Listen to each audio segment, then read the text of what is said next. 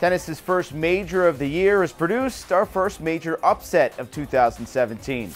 World number two and defending champ Novak Djokovic was knocked out on day two of the Australian Open by wildcard Denis Istomin. Now, the 117th ranked player in the world from Uzbekistan defeated Djokovic in five sets, marking the first time in his career that the 12 time Grand Slam winner has lost to a player outside of the top 100 at a major.